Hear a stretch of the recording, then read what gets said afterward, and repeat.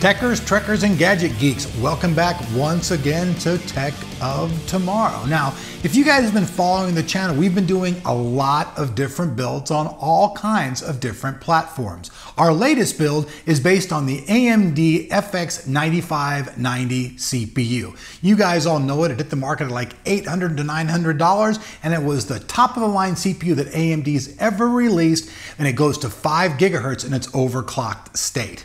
Now, with that said, we started building a system. We brought you guys part one of the build. We showed you guys all the parts. And now today we're gonna bring you part two, which we're actually prepping the system. So what Anthony's gone ahead and done in this video is he's put most of the parts inside of the system, including the radiator, all the stuff for the water cooling, and it's all inside the system because we're gonna have to actually go and pre-cut all of the components for the water cooling system before we can actually install it. So today's video is just pretty much showing you guys an update of how the system is progressing. Here you can see where we've mounted the reservoir, the SSD, and a few of the other key components to the build.